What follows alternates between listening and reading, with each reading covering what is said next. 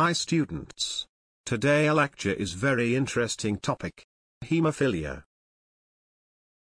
Hemophilia is an inherited bleeding disorder in which the blood does not clot properly. Hemophilia also called royal disease. First we have to know some basic concepts so that we understand hemophilia more clearly. Phases of coagulation cascade Constriction of blood vessel.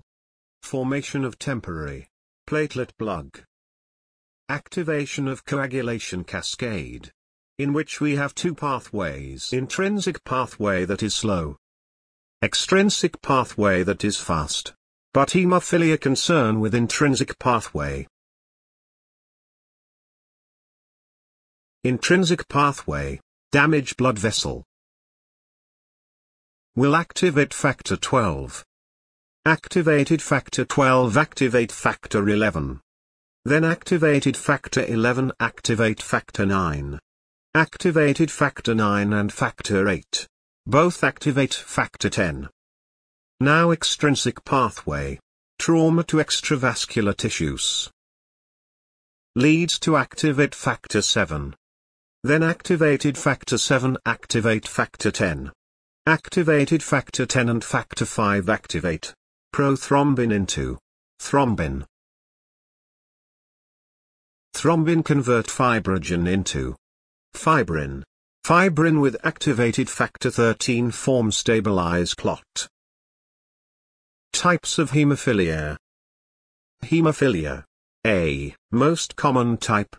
Hemophilia B, also called Christmas disease because first diagnosed 1952 in a patient with the name of Stephen Christmas.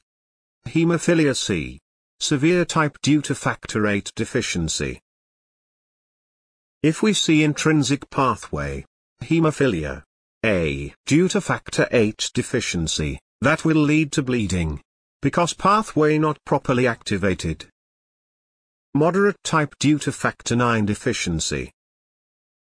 If we see intrinsic pathway, hemophilia B due to factor 9 deficiency, that will also lead to bleeding because missing factor 9 essential for coagulation. Mild type due to factor 11 deficiency, most common in Ashkenazi Jews. If we see intrinsic pathway, hemophilia C due to factor 11 deficiency, that will also leads to bleeding. Hemophilia A. X-linked recessive. Hemophilia B. X-linked recessive. Hemophilia C. Autosomal recessive. X-linked recessive pattern.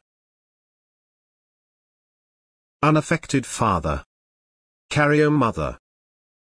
Give birth one affected son. One carrier daughter. One unaffected daughter and one unaffected son. Male more exposed because they have only one X chromosome. Autosomal recessive. Condition in which one mutated gen from father and one from mother.